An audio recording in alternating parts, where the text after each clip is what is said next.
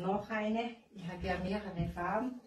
Ich werde euch das alles zeigen, damit ihr wieder ein bisschen teilnehmen können an meiner Kreativität, an meinem Fachwissen, an meinem Können.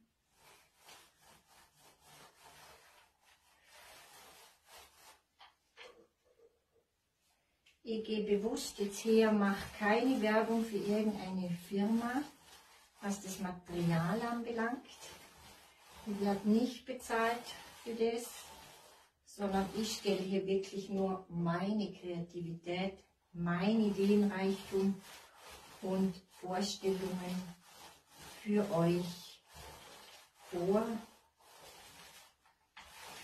und mache hier keine Werbung für ein Produkt.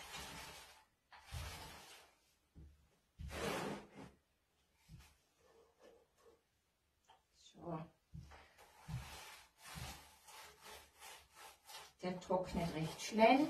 Ich mache das jetzt am Abend, damit ich morgen schon weiter drauf arbeiten kann.